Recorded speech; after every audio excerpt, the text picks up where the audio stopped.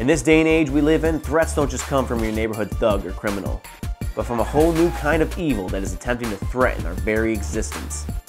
Now more than ever is when you should bear arms. But as Uncle Ben once said, with great power comes great responsibility. Am I saying dress up like a superhero? No. What I mean by that is training.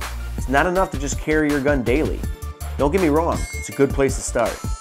But being efficient with your gun in a way where drawing and firing your pistol becomes muscle memory and instinctive.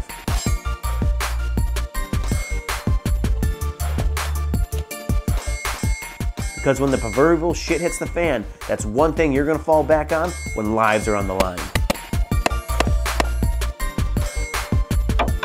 Make no mistake about it, shooting is a perishable skill that needs to be refreshed often.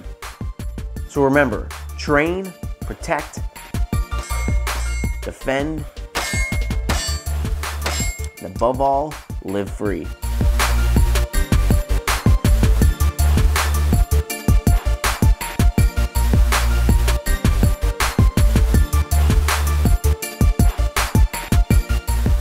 Be sure to check out KirbyBrothersOutdoors.com, like our Facebook page, and follow us all on Instagram and Twitter.